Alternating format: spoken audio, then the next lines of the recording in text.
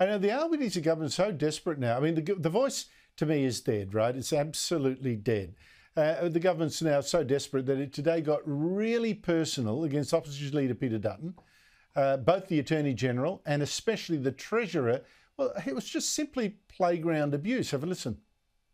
In this campaign of misinformation and mistruths, the opposition leader is the chief propagandist. He has seen this from the very beginning, not as a chance for unity, but as an excuse to practice the usual nasty and negative and angry and dishonest and divisive politics. One of the consequences of the Leader of the Opposition's policy for two referendums, not one, is that this will drag out for as long as possible so the Leader of the Opposition can drip more poison into the well. The House needs to absolutely insist that the Treasurer withdraw that disgraceful slur.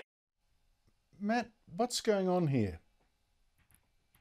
Well, it's, a, it's desperation, isn't it, uh, Andrew? Uh, uh, no case. So the yes case is in a kind of desperate position. I don't think it's all over yet. There's a long way to go, but you can see here that they will seek to do everything they can to try and claw back some kind of partisan advantage here by attacking one side of politics. And I, I, the same sort of vitriol was uh, was spewed in the Senate at question time as well. And it was instructive to me that Penny Wong, despite making these severe conclusions about the behaviour of the opposition, had not one example of the misinformation that we apparently had been spewing.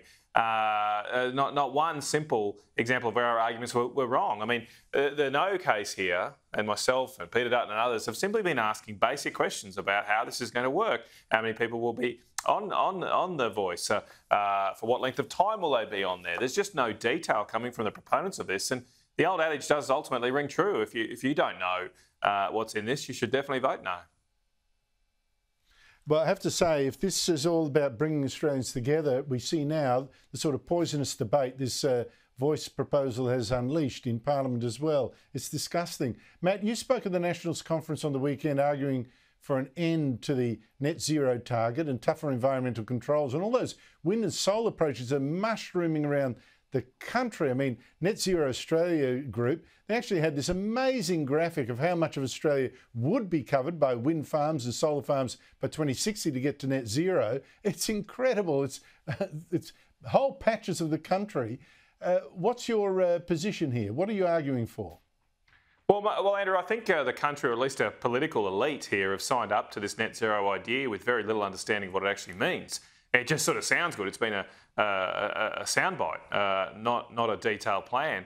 And when you get into the detailed plan, and good on the, the organisation Net Zero Australia, who are a pro net zero group, they've actually mapped out the plan for us all. And their their their conclusions are that we will have to blanket uh, an area the size of half of Victoria uh, with solar, wind, and transmission lines uh, to meet this ridiculous target. Some of those areas you put up on the map, they're like 300. They think they're going, we're going to have 300 kilometre wide circles of solar panels.